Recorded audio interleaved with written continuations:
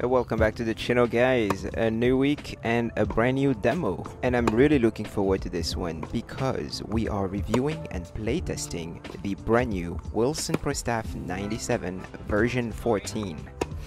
So as you already know, I play with the Wilson ProStaff 97 version 13 actually and I even played with a version 12. So again, brand new version that came out in 2023 uh, this time with a new paint job. The previous two or three versions were just all matte black, which I think looks classic, uh, simple, clean, and uh, definitely timeless. But I'm not gonna lie, I really enjoy the new colors. Uh, it's just it's just to refresh the design, and uh, you know once in a while it's good to change. So um, definitely a good thumbs up for me when it comes to the design. Next up, let's look at the specs. But before we do so, don't forget to support your boy by subscribing to the channel and liking this video. Also, don't hesitate to ask me any questions in the comment section. I'm always happy to answer any tennis related questions that you may have. And uh, finally, don't hesitate to uh, let me know if you are in the area so we can play together. Alright, let's get to the specs now. So I'm looking at the specs of both version 13 and 14 and um, you know and I'm looking. And uh, really I'm seeing the exact same thing. Uh, you know specs wise uh, both rackets are virtually the same. If you check out the uh, tennis warehouse website uh, you're not gonna find any differences besides the swing weight um, version 14 looks like it has a swing weight of 332 whereas the version 13 has a swing weight of 321 now I don't think that that's necessarily true. Um, you know, that's just based on the uh, racket sample that uh, Tennis Warehouse used to uh, come up with the with the numbers. In my opinion, version 14 may have a little bit of a higher swing weight, um, but nothing that significant. So if it's not the swing weight and everything else is the same, then what is the difference?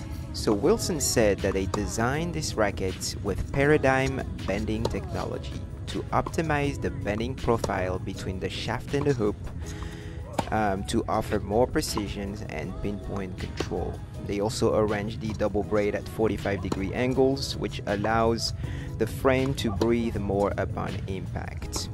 So basically, paradigm bending is just a new way of constructing the carbon fibers to optimize the the way the racket bends. So the racket becomes a little bit more flexible into the shaft and that's supposed to give you a more classic pro staff feel and precision without compromising modern power. Um I'm gonna be 100% honest with you I didn't notice that much of a difference between my racket and this one. Um, I think the swing weight might be a little bit bigger maybe as a result of you know spreading the weight a little bit differently maybe more toward the hoop but besides that you know it feels very much you know more or less the same um, it is a great racket. It definitely plays like a pro staff. Um, I'm not saying the racket is bad. It is a fantastic racket. Uh, you know you can see on the playtest. I enjoyed playing with it. I'm uh, definitely getting a good feel for the ball. And if you've never played with a pro staff before um, give this one a shot. It is a fantastic racket.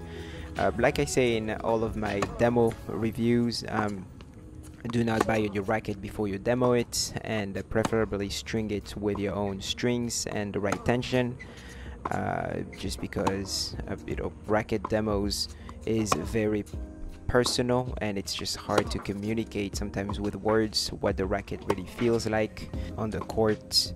Um, but my recommendation for this one is that if you have version 13 I would probably not buy version 14 unless you are really into the new paint job. You really like it.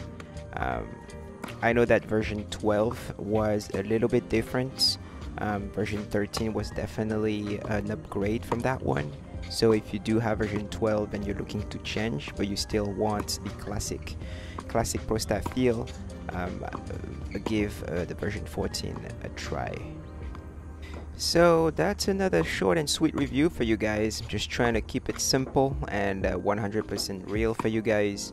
Uh, I enjoy making these reviews and you know as much as I want. Um, you know I would love to even just upgrade my own racket to something even better, but I don't think that's gonna be the one. Uh, it's just too close to uh, to mine, and uh, probably Wilson needs a little bit more time to uh, to really improve that uh, that racket. So you know, I think racket technology kind of resembles uh, iPhone technology. Rackets usually come out every two or three years, and uh, new iPhones come out every year. But there isn't really that much uh, of a difference between, you know, the iPhone um, 12 and the iPhone 13 and then the iPhone 13 and the iPhone 14 but if you wait for maybe you know two or three generations then you really feel like you're getting a nice upgrade. Um, and I and I kind of feel the same for rackets. Uh, three years you know for a racket is not that long. Um, technology is just not improving that much uh, and so it also your body you know is very much used to your racket and string combination. So even for your own sake it's not a great idea to you know, keep changing rackets. Uh, you know whenever i play with demos different demos i mean it, it is it is a challenge you know to, to try to play well with different uh, different rackets different strings different tensions every time but uh, you know when you play with the same stuff for uh, over a really long time you know that's what your body likes that's what your body is used to. And uh, and it's just great to uh, you know understand that this is your stuff and now you're just gonna go out on the courts and try to play better as an athlete try to hit better shots, you know, be hit smarter shots, move better, and kind of take the uh, racket technology out of the equation and just really focus on you as the athlete and just make the most out of all the equipment that you already have. And to be honest, as long as you use a racket that is within the standard range, you should be able to perform.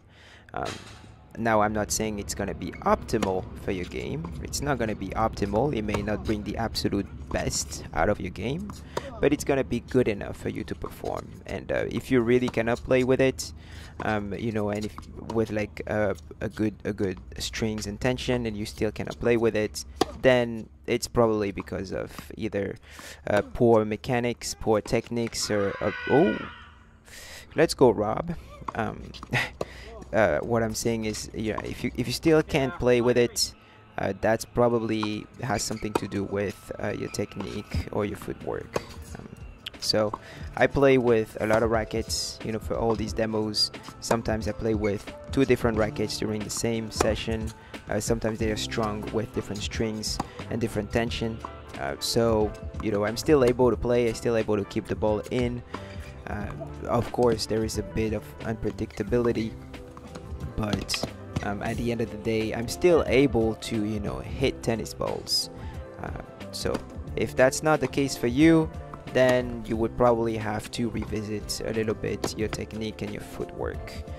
Um, but um, that's pretty much it. So I hope you enjoyed my uh, honest review and playtest of the Wilson Pro Staff 97 the next racket review is gonna be the highly requested Solinco Whiteout and Blackouts.